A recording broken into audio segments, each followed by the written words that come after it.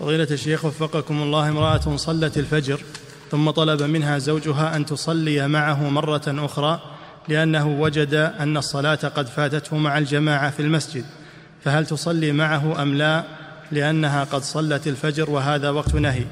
يجوز للإنسان الذي صلى أن يصلي مع من فاتته الصلاة ويكون نافلة له.